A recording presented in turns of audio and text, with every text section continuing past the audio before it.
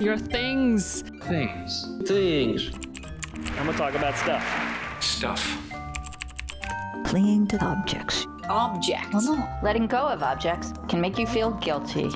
Objects are a record to me of a moment of joy or a moment of connection with something. I'm the sort of person that holds onto objects for decades. It is the object that you put in your pocket, put in a drawer somewhere, which recalls a specific moment you shared with somebody that you loved. Objects represent the past. The memories attached to our stuff put us right back in a really happy place. Otherwise, it'll just be lost to time.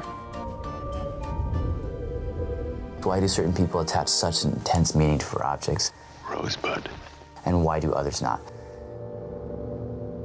We have gotten to the place where we think things matter. And they don't. Beni materiali. Material goods cannot fill the emptiness of lives which have no purpose. Colmare un vuoto esistenziale nel suo cuore. Well, not with me. I guess I am more of a spiritual materialist. They're not things that I flaunt. They're things that touch me secretly. I think it's the thing plus the circumstances of finding it. And suddenly it takes on extraordinary meaning. So, what your heart gathers is what you keep, but what your heart chooses to gather, I don't know.